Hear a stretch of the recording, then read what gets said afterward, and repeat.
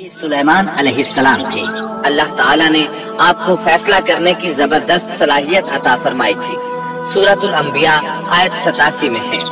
और दाऊद और सुलेमान को याद कीजिए, जबकि वो खेत के मामले में फैसला कर रहे थे कि कुछ लोगों की बकरियाँ उसमें चर चुग गई थी और उनके फैसले में हम मौजूद थे।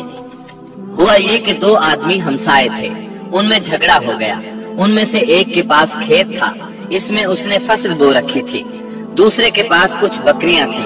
बकरियों का चरवाहा रात के वक्त दीवार वाले दरवाजे को बंद कर देता था, ताकि बकरियाँ निकलकर फ़सल को नुकसान न पहुंचाएँ। एक दिन वो दरवाज़ा बंद करना भूल गया।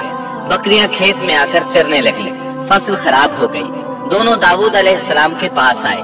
अपना मुकदमा पेश किया। दाऊद सलाम काजी भी थे। उस वक्त सुलेमान सलाम कहीं गए हुए थे। दाऊद सलाम मुकदमा सुनकर कहने लगे, ये बकरियों वाले की सुस्ती का नतीजा है।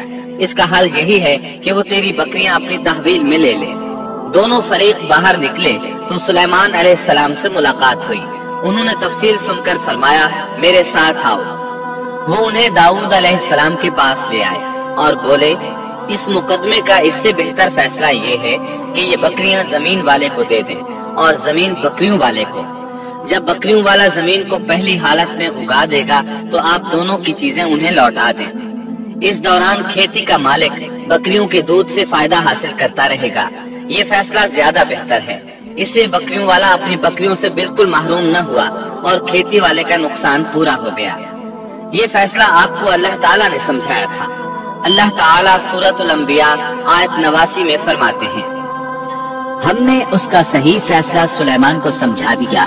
हाँ हर एक को हमने इल्म हिकमत से नवाजा था। बुखारी और मुस्लिम में एक हदीस है, उसमें इसी किस्म का एक वाकया बयान हुआ है कि दो औरतें अपना मुकदमा दाऊद सलाम के पास लाईं। दोनों को अल्लाह ने एक एक बच्चा दे रखा था। एक भेड़िए ने हमला करके बड़ी उम्र वाली का बच्चा चीर फाड़ डाला। औरत चालाक थी, उसने छोटी उम्र वाली का बच्चा छीन लिया कि ये मेरा बच्चा है।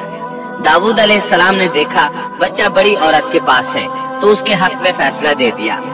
सुलेमान सलाम ने दाऊद सलाम से इजाज़त चाहते हुए कहा, क्या मैं इस मुकदमे का फैसला कर सकता हूँ? उन्होंने इजाज़त दे दी। सुलेमान सलाम ने औरत से कहा, बच्चा मुझे दे दो। बच्चा हाथ में लेकर उन्होंने तलवार निकाली और दोनों औरतों से फरमाया, मैं इसके दो टुकड़े करके तुम दोनों में बराबर बराबर तकसीम करने लगा हूँ। ये सुनकर बड़ी औरत बोली कि, ठीक है। जबकि छोटी औरत ममता की वजह से चिल्ला उठी कि आप इसे ज़िंदा रहने दें और उसे दे दें। ये सुनते ही सुलेमान अलैहिस्सलाम बोल उठे, तू ही इसकी माँ है, जिससे अपने बच्चे के टुकड़े देखना बर्दाश्त न हो सका फिर बच्चा उसे दे दिया सुलेमान अलैहिस्सलाम का एक तीसरा वाकया कुरान में यूँ है सूरत नमल, आयत सत्रह और अठारह में है और सुलेमान के सामने उनके तमाम लश्कर, जिन्नात, इंसान और परिंदों में से जमा किए गए। हर हर किस्म अलग अलग खड़ी कर दी गई। जब वो चींटियों के मैदान में पहुँचे तो एक चींटी ने कहा, ऐ चींटियों अपने अपने घरों में घुस जाओ। ऐसा न हो कि बेखबरी में सुलेमान और उनका लश्कर तुम्हें रौंद डाले। उन तमाम लश्करों को इकट्ठा किया गया था। अल्लाह ताला ने चींटी की ये बात सुलेमान अलैहिस्सलाम को सुनवा दी। सूरह नम आयत 19 में है।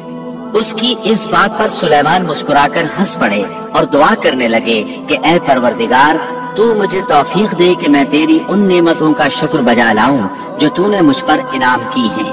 और मैं ऐसे नेक आमाल करता रहूँ, जिनसे तू खुश रहे और मुझे अपनी रहमत से नेक बंदों में शामिल फरमा।